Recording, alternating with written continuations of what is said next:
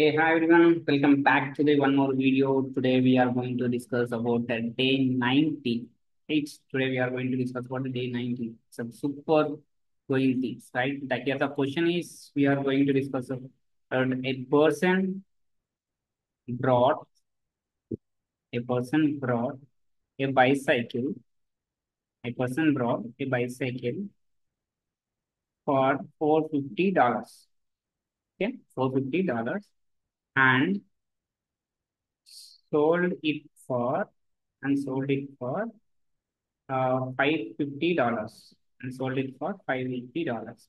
So what was the what was the okay, what was the profit profit percentage?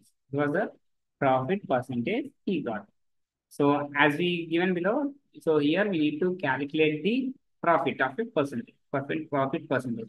So as a given, if the solution is as a given, cost price is cost price CP equals to four fifty dollars.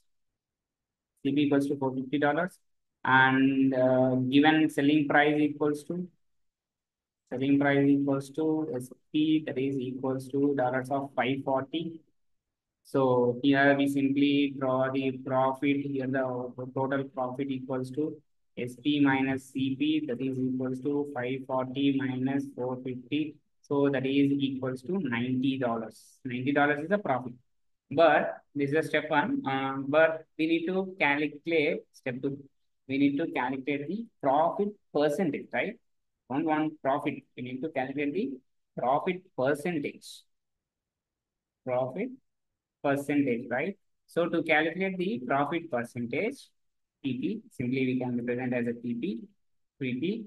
So here the profit divided by profit divided by cost price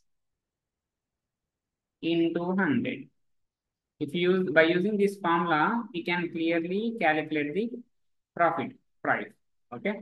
So PP equals to what is the profit? $90 divided by what is the cost price? For $50 into 100. First, we need to calculate this. So, 1 is 9 1 9 5 is that's uh, equals to 1 by 5. PP equals to 91 is 95 is 1 4, 4 0 0 cancel. 9 1 is 9 9 5 is 35 9 4 something around uh, like it's a point of 0 into 100. 2.0 into 100. Here the PP equals to, if we multiply this, 20%. What is the profit he gained? What is the profit he gained?